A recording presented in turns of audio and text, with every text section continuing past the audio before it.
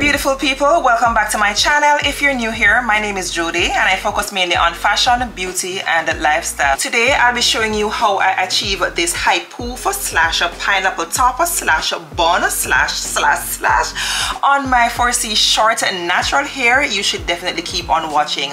If it's your first time here I would appreciate you hitting that red subscribe button. I do upload videos like these each and every week don't forget to give the video a big thumbs up and definitely leave a comment down below. Without further ado guys, let's get into today's video.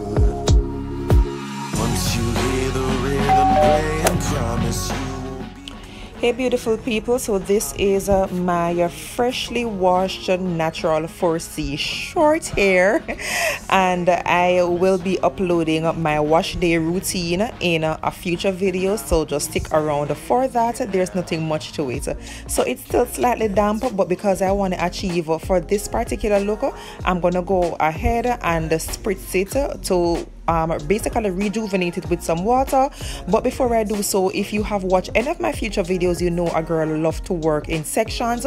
So I'm just basically using my fingers to section off my hair in four sections because I believe it's easier to work that way. I don't say these words often.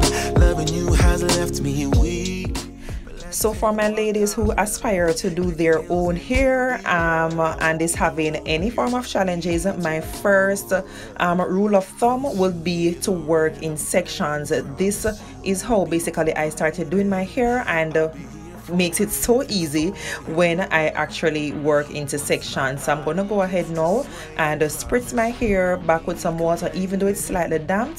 Going in now with my Cantu Daily Moisturizer. This is basically the line of products that I mainly use in my hair. I try not to use like a whole bunch of products but if I'm using a particular brand I try to stick with the entire line just to ensure or to see how it works.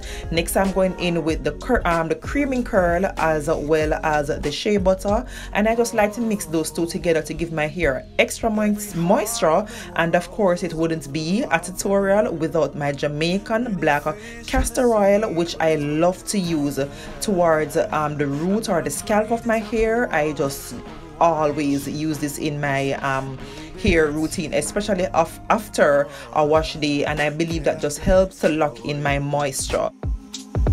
Hey.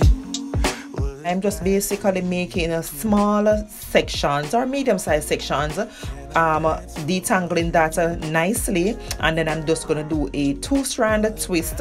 And as I said I just basically finished washing my hair so it's slightly damp and you'd have seen where I have uh, re-spritzed it.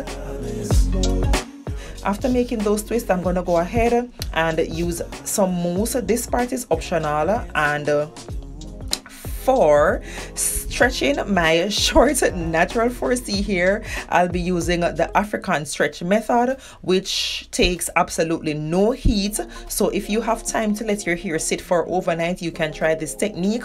So you won't your hair won't suffer heat damage especially if you have breakage in your hair. I have breakage like towards the front of my hair and I am trying to work on my edges because from everything ever since I have thin edges so I'm really trying trying to preserve what is left and to basically have that grow up back. So all i'm doing now is to basically using my hair tie to um it, well like you can use elastic band or a hair tie to rubber band your hair. So i just started from the root and i just went all the way down to the end of the hair. I'll be demonstrating this a few more times. So this guys is super easy and a very safe and effective way to dry your hair and stretch your hair without heat once you hear the rhythm playing, promise you won't be complaining. I'll be here for it if it's for you. Once my body gets to swaying, promise you won't be complaining. And I'll be saying, yeah.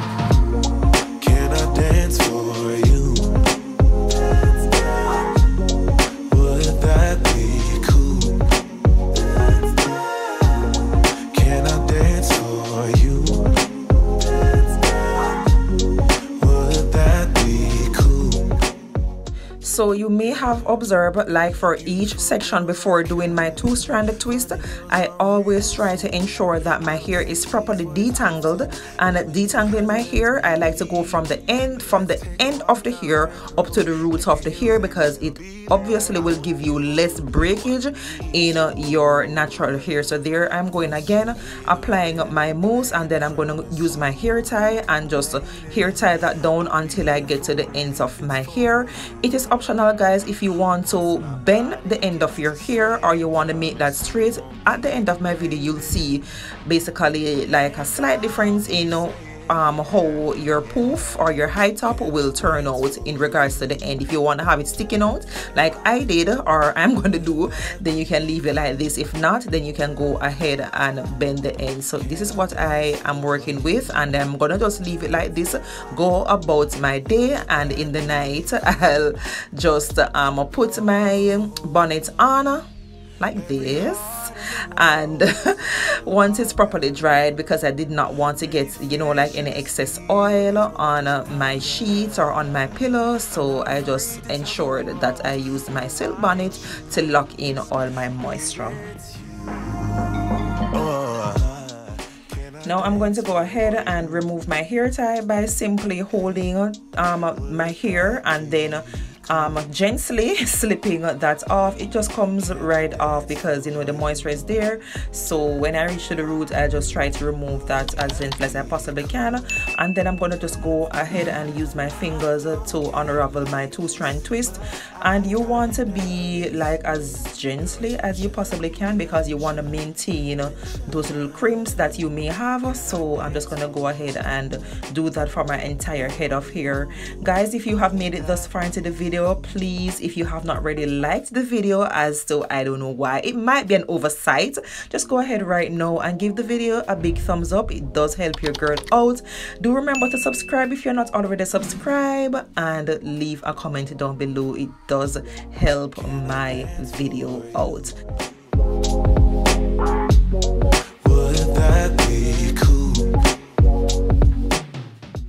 now I'm going ahead and I'll be using my pick comb. If you don't have a pick then you can use a wider tooth comb. The aim is just to get those roots fluffed out without going too much to the top of your hair because you don't want to disrupt your curls that you have achieved um yeah so after doing that i'm just going to use my brush and i'm going to maneuver my hair to into a puff into that high pineapple puff which then i'll be using this uh, elastic band. This is just an elastic band i had laying around my house. If you have something stretchy or even a shoelace it can be used. I'm just basically loosely applying that because i'm just gonna try to maneuver my hair to get that high puff but before I do so I'll be using my got to be glue sorry my got to be gel as well as my hair wax and I'm gonna go ahead and brush in my edges as well as the back of my hair because you know even though it's a high puff and it's an it's your it's a, like a natural hair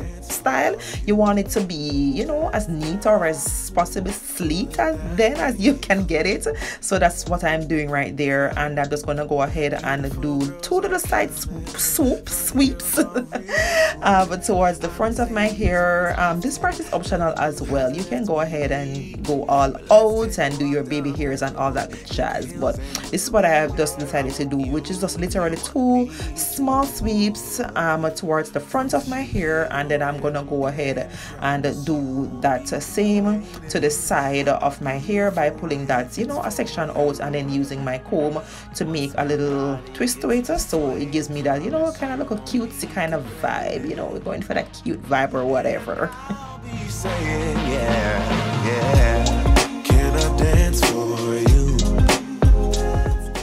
so now I'm going to go ahead and remove that hair tie. Well that rubber band that we initially tied on. I'm going to try to fluff out my roots a little bit more. The more you can fluff your roots guy is the bigger or the higher your puff will eventually come out. So I'm just doing that to you know maneuver mine a bit. I didn't want mine like too extra puffy. So depending on how far you pull that elastic band that determines the size of your poof so that is where I wanted mine line and I'm just going to secure my uh, um, elastic band with uh, some with a hairpin at the end and I'm just going to push that under and once more try to maneuver my little curls that I managed to achieve. And this is what I was saying regarding the ends of your hair. If you want to bend it so it doesn't have that you know sticking out like mine then you can go ahead and do so